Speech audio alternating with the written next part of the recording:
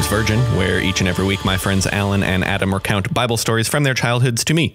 I've never heard them before. My name is Nick. I'm Alan. And my name is Adam. So today uh, we're going to do an episode off a book of the Bible I'd kind of forgotten about. Yeah. Wow. Uh, so Nick, there's a, a a collection of poetry in the Bible. I mean, there's a couple different. Boring. Yep. No, but like this is literally like somebody found David's journal and just published it. So today we're talking about um, uh, one specific psalm in the book of Psalms, which is attributed to King David. And Psalms is what you forgot. I forgot. Well, That's I mean, one of the books just- that I would have probably named. No, I mean like if you say like if, if if somebody goes like what are some of the big key books of the Bible like and just like that was like I, Psalms would be in it. Yeah. But well, because you're forced to memorize some of them. sure. But it's also just like it's I had kind of forgotten about it because it wasn't on my spreadsheet of Bible stories because there's no stories. no Sure. So this is like, uh, what's the one that's just letters mm, that we never do anything from? This is like if they took uh, uh, Nothing? Did I make that up? I mean, like Paul's letters. Yeah. Oh, I mean, like the second half of, of the New Testament is Okay. all just Paul's letters. Great. Too like like Ephesians, just like the letters of the Ephesians. I would say I this see. is more like if the Bible was the book The Hobbit and they took all of the songs interspersed throughout the book The Hobbit and, I'm just the nerdy made one one here. Chapter. That's Psalms. There's an audience for that, I'm sure. Oh, Yeah. no, this is huge. I, I will I will say like the general consensus in the Christian church is like Psalms is where the creative people hang out because like you know you like poetry. So does it also then like is that also like it leaves more room for interpretation because they're not stories or you know like I would sort of argue the opposite. Um, so this is okay. This is Well, there's no theology in it. this is an argument I'm making because of an experience yesterday when I argued about the meaning of a Bible verse with Adam's grandma. Um, it basically, there's a there's a verse in uh, that we talked about in um, I think it's in Deuteronomy where it's you can stone your disobedient children. Right. okay Anyway, and she said that that's not what it means. I'm like, it says to stone your disobedient children, and so I almost think that Psalms because it's just poetry like there's like almost less room for interpretation you know because or uh, like a different kind it's like not like a life or death interpretation No, but it- like it's a- it's also not really speaking. It's not speak. It's not the, speaking theology. It's not. There's no like rules. no one's gonna judge someone else and use a psalms to back them up No. so that's kind of nice Yeah. But it's also just boring as fuck. okay Well, It's- it's, boring to me. Like I, I don't know. The, my m- I, I'll say this is Adam's like main interaction with Psalms was in uh in different praise bands that I was in. It would be like people trying to shoehorn a because also what we didn't say is like not only is this his book of poetry, it's usually interpreted as his song book. Like he was writing lyrics to the music. oh absolutely i mean salt the psalter, like it's like an instrument I- apparently, uh, but uh, i'm gonna need a trigger warning before you say those words again which one? Uh, praise band. Yeah. Sorry. that is fair.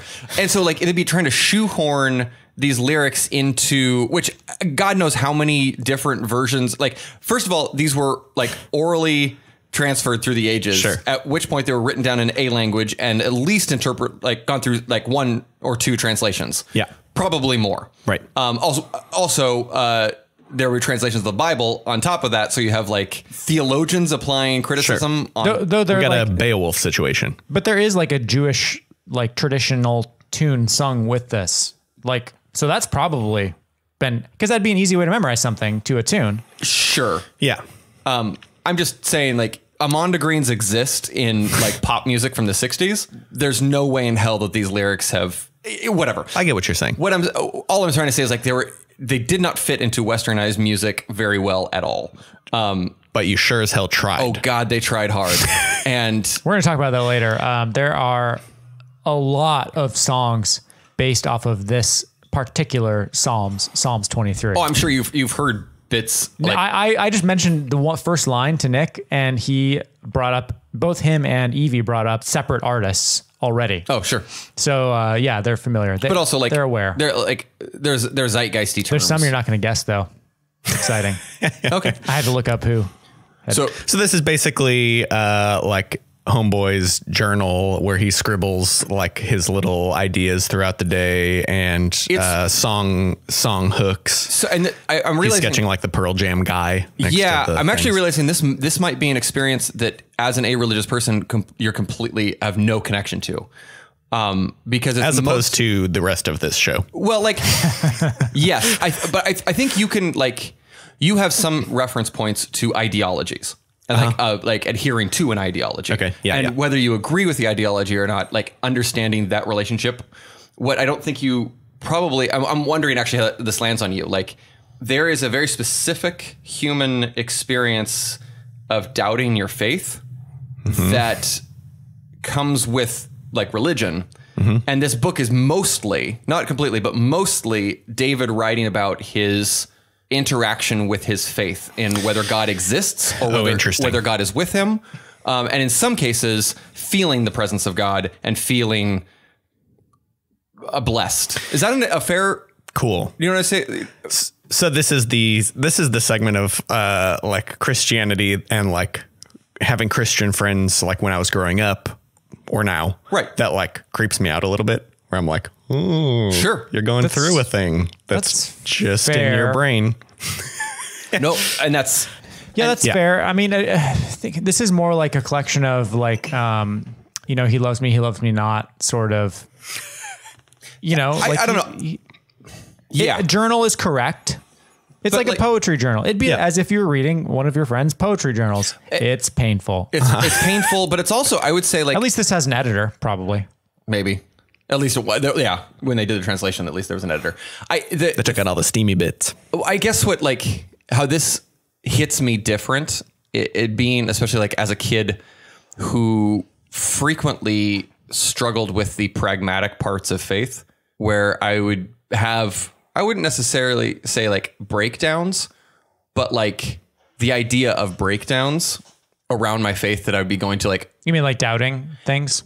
Thinking that I'm like broken somehow because I couldn't feel like the quote unquote presence of God. oh And- yeah. and like going to my parents and asking for help and really not getting great answers.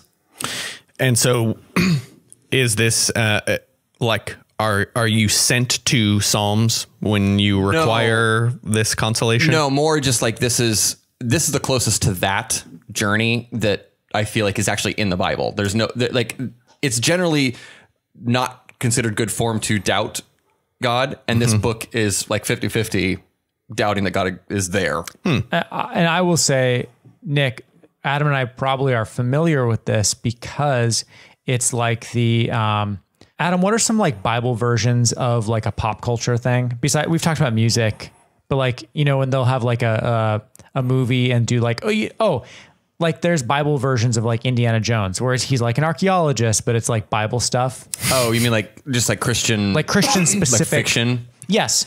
So my theory is that we had to memorize a lot of these in lieu of like Shakespeare sonnets. You know, like this was religious poetry, Yeah, I- and and that's why we had to memorize them.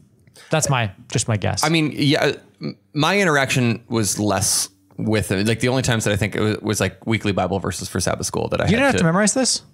I not really. Oh, and like Psalms 100, 23 and 100 are like big ones. My my parents weren't really into. It wasn't my parents. It was like it was like school or church. I might have, but I probably purged it. I mean, I, I was. I mean, like, like uh, like with most of most with most school, which is how one of the reasons I know that the educational system's fucked. Uh, it was set up to like learn quick and purge, Yeah, you take the test. Done. which is not the point of education. I, I would say I learned this enough times that I still know it. I think I, I mean I could get through it, but I don't. It's not like it's there, but not there. I mean, Well, I'm not going to read it there are there are there are unless Nick asks really right, nicely. there are scripts of West Wing that I can quote better.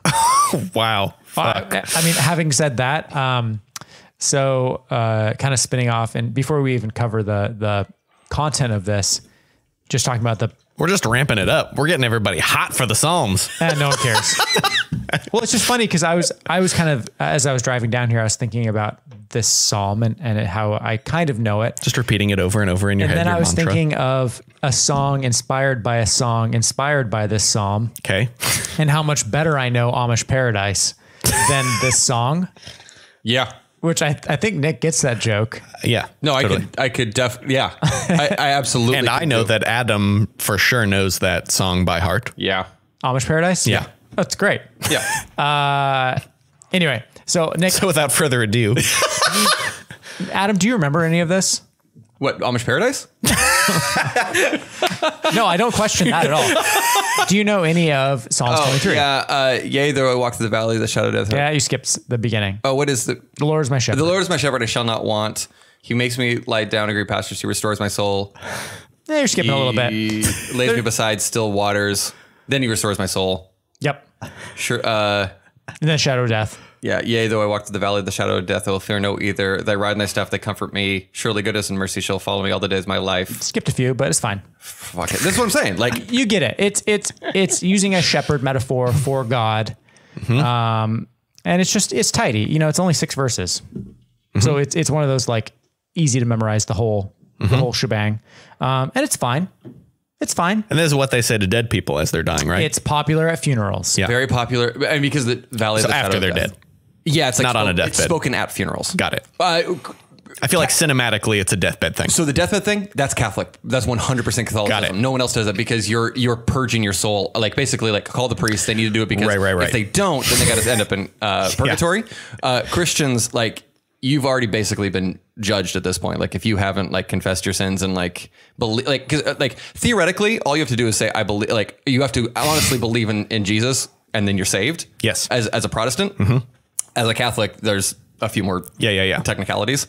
Um, and so like Best to clean house right before you go.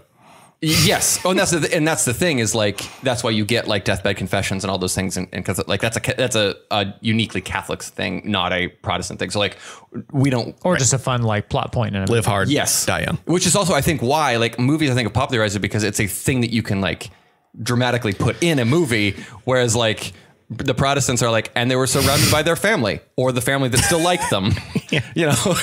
Uh, and but no, funerals was where a lot of that would come out. It's like, and it's really interesting because now, like, I actually find funerals much more comforting post Christianity than I do because like there's an element of like Depends on how preachy the pastor gets. well, no, like there was an element at any when I was a practicing Christian at a funeral, there was like existential stakes on the board, whether or not like you were at the funeral for somebody who was damned or somebody who was saved.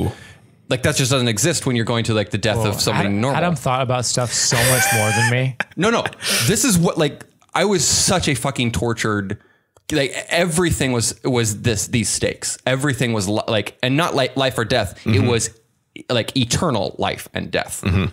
I've just slowly realized that I, I I memorized a lot of it and I know a lot of it still, but I never really believed as much as I thought I was supposed to.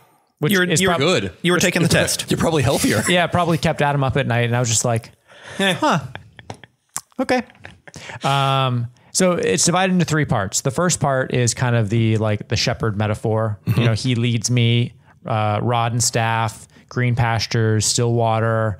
Um, Restores my soul. Well, yeah. So you got the shepherd metaphor for God, uh, but also like there's a lot of kings who like call them, you know, the shepherd of my people. Apparently, that was a popular thing with the um, Hammurabi. You know, the am I saying that right? That, I know the name, but I, I don't know. Actually, it's one of the Make sure I'm saying that right because I do not want to say that. No, I've heard the word before. I just don't know what it means. There's also elements uh, where, and I think we've talked about this too, but like Jesus is often portrayed as a shepherd of people. Yeah.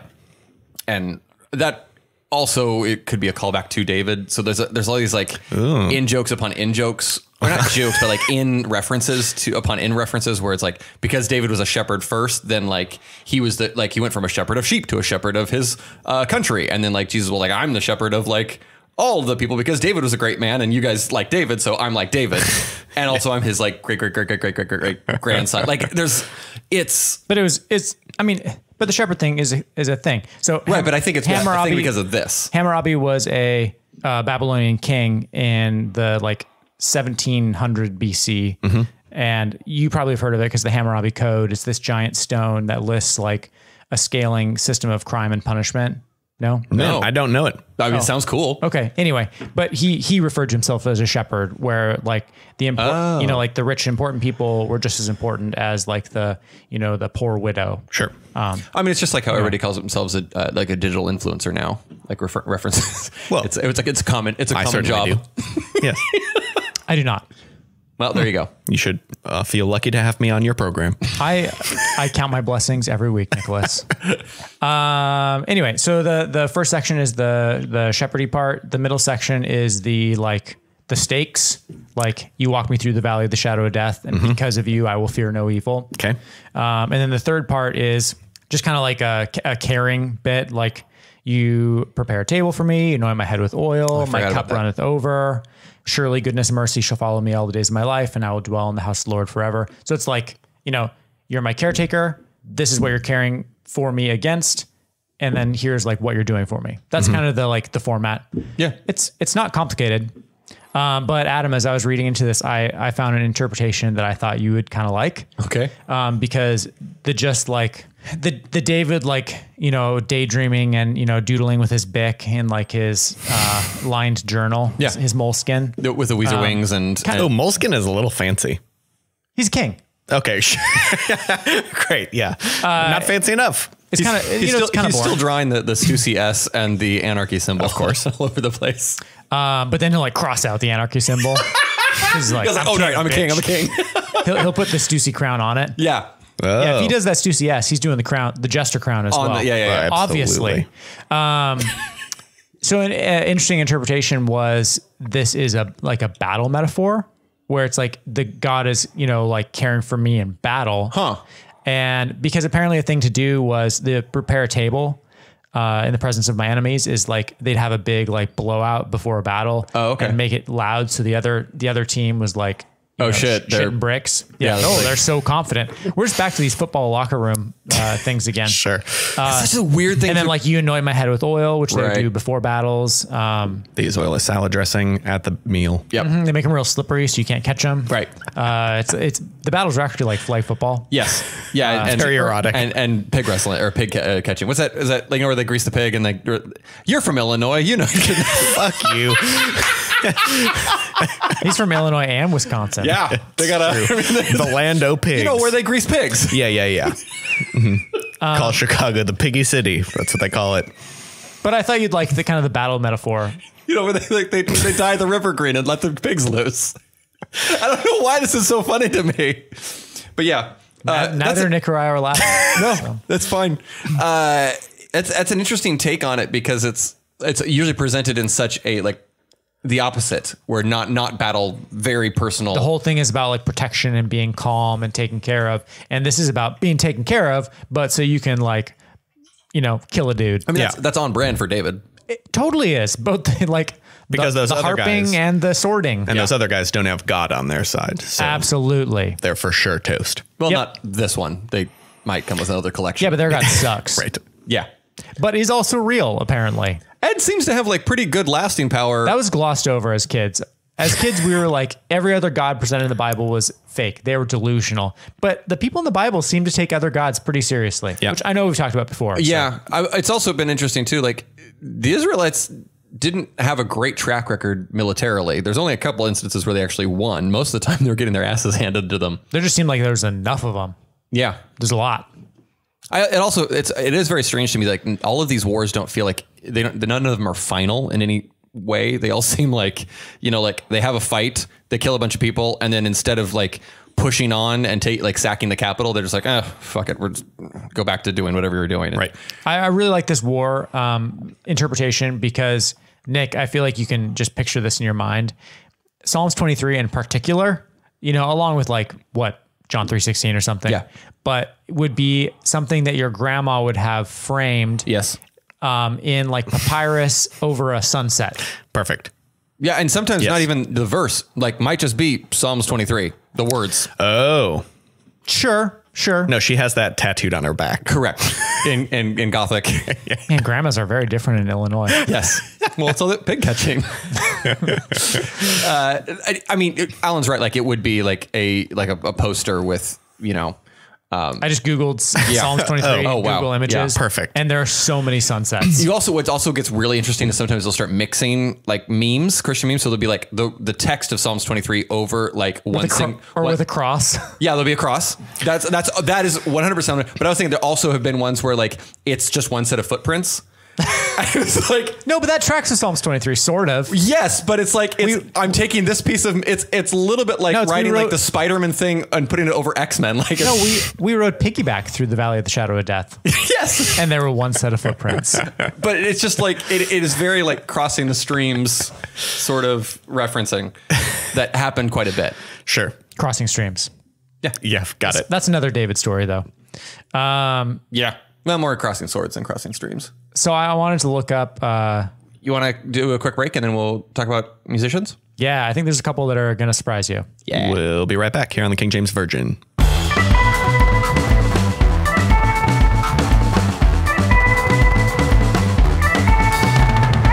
And we're back here on the King James Virgin. We're back. Deal with that, Adam. I will definitely deal with that. For those of you who don't know what we're talking about, uh, I fixed a very weird audio edit just there, and you will never know. Okay. Um, so Nick, as Adam and I were talking about this episode, I kind of jokingly said, like, well, not okay. The first part's not a joke. I was like, I bet there's a lot of music inspired by this, just not really even thinking about it. And then jokingly, I said, man, I hope there's a rap song. There's a lot. there's a lot. And what's interesting is the the not rap incorporates these lyrics inspired by Psalms 23 in kind of a like an anti um uh religion sort of way. Flipping it on its head. Like um Pink Floyd uh in a song called Sheep set, like they start with the Lord is my shepherd I shall not want he makes me to he makes me down to lie through pastures green he leadeth me by the silent waters with bright knives he releaseth my soul Whoa. he maketh me to hang on hooks in high places. He converteth me to lamb cutlets. I was like, I did not see that coming. It's great. Does, uh, I was like, does anybody really know any of the lyrics of Led Zeppelin songs? No. Wait, Pink Floyd. Whatever, same thing. Yeah. I mean, uh, I know that I, before we get, it's like I, I am very much well aware that Pink Floyd and Led Zeppelin are not the same band. I'm in But favor. come on, of- guys. I'm in favor of your conflating them. It's uh, all boring record store day shit. Yep. And then uh, there's a U2 song where again it starts, Yea, though I walk in the valley of the shadow, yea, I will fear no evil. I have cursed thy rod and staff, they no longer comfort me.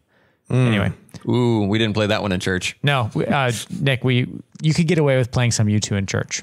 Oh, I think we've talked about this a little bit. Like you'd mix in like little bits of U2 into worship songs to spice them up. is this uh would have okay, have the two of you in a band together played a U2 song? Yeah. One hundred percent. Oh, which one of you was the edge? In that case, I was. Woo! But also Bono. No, you were Bono in that case. You had the glasses as a joke. But we did do the glasses as a joke once. But so we're a little self-aware. yeah, that that Sure. the time we like just straight up covered "Beautiful Day." Probably. Uh, that was that one we were very self aware. But I think I mixed in uh, "With or Without You" chunks into songs, like as Oh, I, like almost as a like a like a bridge. Just Sure. pull it in. Yeah. Uh, so we got like Duke Ellington, uh, Pink Floyd, Duke Ellington. Patti Smith, Grateful Dead, U2, obviously. And then we get into uh, Michael W. Smith. Well, that's I feel like the Christian band's like, who the fuck cares? Yeah. yeah of course. But then, Michael W. Smith started as Amy Grant's uh, keyboard player and then became a Christian Oh. artist all by himself. Uh, Michael W. Smith, uh, contender for one of the like most commonly donated used records. really? Yeah. that's funny. Uh, and then we get into the hip hop where they take these lyrics very seriously. There's, I mean, like in in especially like early hip hop, there's still quite a bit. I mean, like Reverend was a actual reverend. Like I feel like the the hip hop community actually still has a like some ties to Christianity. Of course. Yeah. Uh, we get into the uh, Coolio, which is the one Nick knew. Uh, Dangerous Minds soundtrack was my very first uh, CD. Really? Yes. That was, soundtrack was huge. Oh, it was Michelle massive. Pfeiffer? Michelle Pfeiffer was in the movie, not on the soundtrack. She did not sing. Wait, am I thinking Dangerous Minds is a huge soundtrack, or is it The Bodyguard that was a huge soundtrack? Well, Both. Absolutely both. Dangerous Minds was a Billboard bestseller in 1995. Uh, not the bestseller of 1995. On the charts, uh, Dangerous Minds was surrounded by the overall number one bestseller Titanic. of 1990. Incorrect. Ah, 1995. Another uh, movie? nope. We're, are we too early for Backstreet Boys? Yes. Okay. I'm blanking. Garth Brooks. Garth Brooks is on the charts for 1995 Okay, give me a with, genre. with the greatest hits. Give me Oh, gen- what yeah. genre?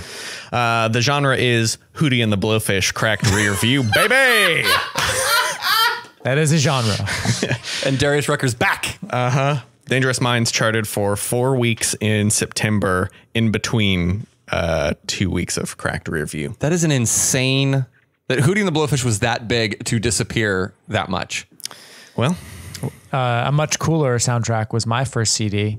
Um, not that I purchased; it was given to me along with my first CD player. I do not know why, but it was the Titanic soundtrack. I make They sense. must just had them. I remember like a few floating around. My first cassette. My aunt was a real big Celine Dion. Is she's, she's I know that was us. a multi Celine Dion. VHS. She might not. She might not like Celine Dion. That was a multi VHS tape set. Was it? Was the soundtrack more than one disc too? no. Okay.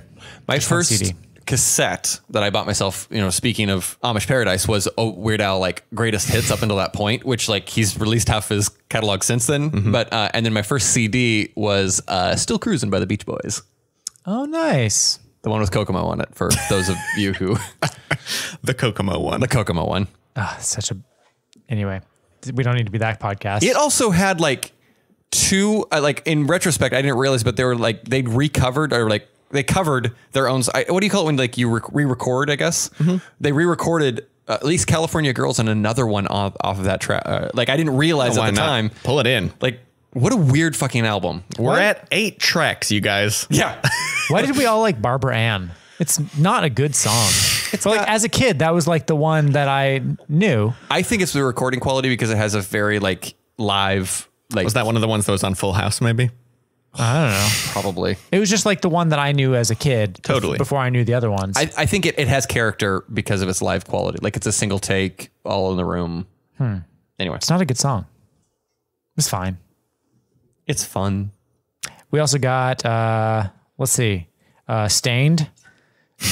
Wait, the band Staind? Yeah. Shit. I forgot that Staind. Is there anything more bland than Staind? Is Staind the band or is Staind the man?